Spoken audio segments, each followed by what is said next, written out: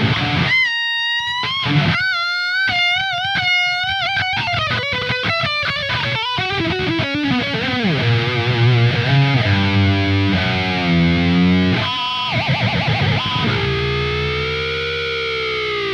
I'm Debbie Gough from Heriot, and you're watching Behind the Riff. Today I'm talking about the solo from one of our songs, Dispirit, and Dispirit was one of the first songs that we released as a band as Heriot. Um, we released it, I think, a couple of years ago now, and it was kind of dipping our toe into what we wanted our band to sound like. This solo is inspired by some of my favourite guitarists and trying to put all of their kind of techniques into something that I could try and make my own. So my favourite guitarist is Mark Morton, but I also love Kurt Ballou and Van Halen and even players like Mike Tremonti and, and trying to have all of their styles into um, my kind of thinking when I approach a solo. So especially with the dive bombs and things like that, I try and lean on like old, older thrash or like um, original kind of thrash vibes. A technique that I've used in this solo is a technique which I think is called two two hand harmonic. Could be false harmonic. I'm not too sure if I'm being totally honest. Uh, but it's kind of like a Van Halen thing. Um, and I really enjoy doing that because I feel as though it brings something fresher to the solos.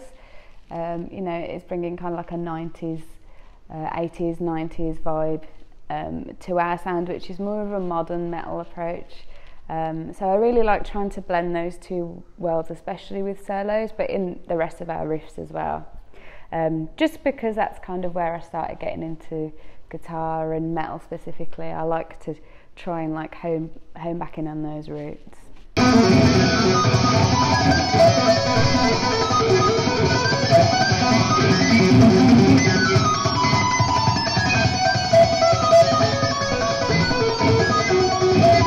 In terms of like writing solos and writing music in general, I kind of draw inspiration from a lot of different players.